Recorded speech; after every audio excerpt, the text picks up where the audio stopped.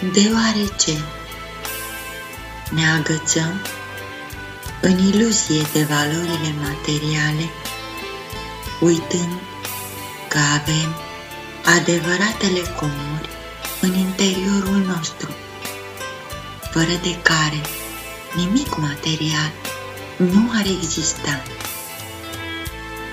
O introspecție este întotdeauna binevenită atunci când există o rană sau o inegalabilă pierdere.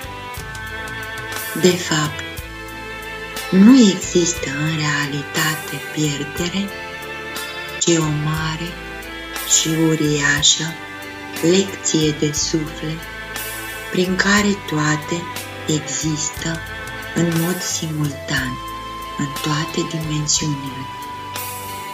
Totul este atât de perfect interconectat încât orice și oricine este beneficiar atât al lecției cât și al însușirii ei.